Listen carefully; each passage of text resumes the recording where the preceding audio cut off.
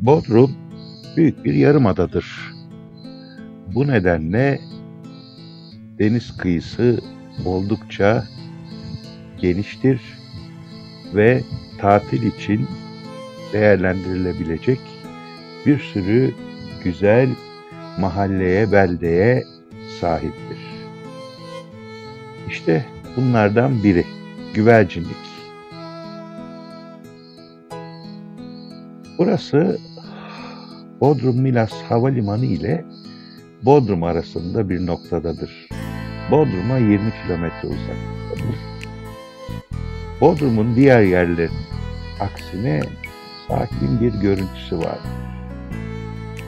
Adeta küçük bir balıkçı kasabası hüviyetinde.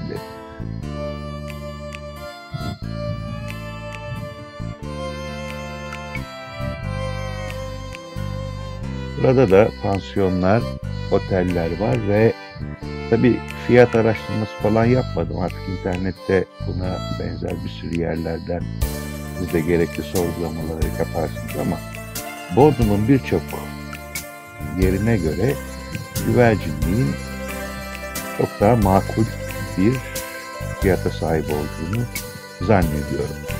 Güvercinlikten ilerledikten sonra Torba sapağına geliyorsunuz ve Torba beldesi bu. Üst yoldan görünür. Torba da çok sakin, sevimli bir yer.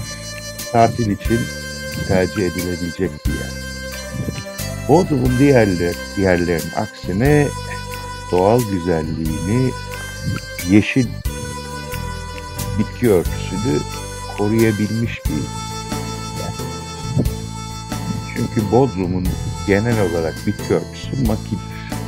Bol bol kaya vardır ama burada ormanlar çok büyük ve yoğundur. Yani denizle orman fotoğraftan da gördüğünüz üzere iç içedir. Burayı da tercih edebilirsiniz. Burada belediyeye ait bir çay bahçesi var. Fiyatlar da oldukça makul. Bazı işletmelerin fiyat politikası nedeniyle e, Bodrum'un pahalı olduğuna dair bir algı var. Ama her yer öyle değil. Burası da Gündoğan. Burası nispeten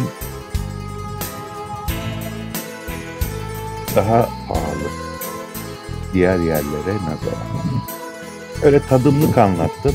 Diğer yerler için videonun sonunda Bodrum'da gezilecek yerler diye bir oynatma listesi var. Oraya bakıp eğer Bodrum'a gidecekseniz nereye gitmeniz konusunda bu oynatma listesi size yardımcı olabilir. İyi günler.